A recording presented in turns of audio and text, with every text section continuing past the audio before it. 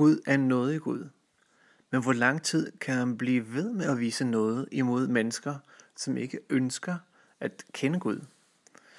Øh, vi skal læse en tekst i dag, som er hentet fra åbenbaringsbogen, det 22. kapitel, og øh, i vers 11.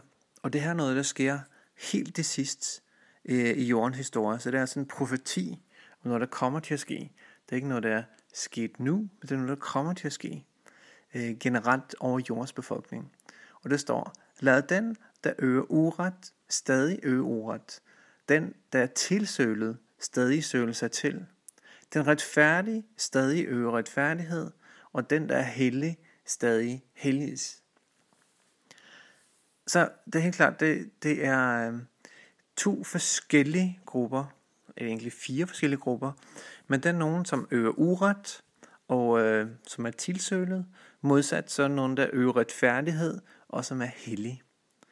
Og øh, begge grupper, de bliver ved med at gøre det, de har gjort indtil nu. Så dem, der øver uret, de øver stadig uret, og den er retfærdig, øh, de øver stadig retfærdighed. Og det tyder på, at på et eller andet tidspunkt, så, øh, så bliver folk ved med at gøre det, de har besluttet sig for at gøre. Øh, man kan sammenligne det med, at øh, hvis for eksempel, øh, som det desværre er tilfælde øh, mange gange i vores samfund i dag, at øh, ægtefælder, de øh, går fra hinanden, øh, så kan man se det, at øh, så siger de, jamen øh, gnisten var der ikke mere, øh, det kunne ikke fortsætte, og de stopper. Og lige meget hvad, lige meget hvor mange gange øh, de har prøvet, og lige meget hvor mange øh, præsterne har talt med dem, og lige meget hvor mange gange de har været til psykolog og, og rådgiver, så kan de bare ikke mere. Det vil sige, øh, kærligheden er slut. Og, øh, sådan tror jeg ikke, det er med Gud, for han vil altid blive ved med at kalde på mennesker. Han vil altid få dem til, øh, eller prøve på at få dem til at elske ham.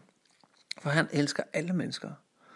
Men øh, hvis menneskene ikke har nogen længsel efter Gud, eller ikke har nogen, øh, ikke kan se nogen idé i at være sammen med Gud, så på et eller andet tidspunkt, siger Bibelen, så øh, kalder Gud ikke på dem længere. Jeg tror, det vil stås på den måde, at Gud kalder på dem, men de er kommet så langt væk fra Gud, at de ikke længere kan høre hans stemme. Så på et eller andet tidspunkt har alle taget sin beslutning. Alle dem, der elsker Gud og har lyst til at være sammen med ham, de har taget sin beslutning, og de følger den 100%. Der er ikke noget øh, først den ene, og så den anden, et ben i hver lejr. De følger den 100%. Og det gør også de, der ikke følger Gud. De følger den 100%, at de ikke ønsker noget med Gud at gøre. Så længe mennesker, de er øh, usikre på, hvad de vil, om de tror måske på en Gud, men de er ikke helt sikre, så tror jeg på, at det er fordi, at øh, Gud han tillader, at de får lov til at tage et valg. Men på et eller andet tidspunkt, så siger Bibelen her, i verdenshistorien, så har alle taget sit valg. Og det kan I høre mere om i dagens afsnit, i øh, opløsningen fra den store strid, som hedder trængselstider.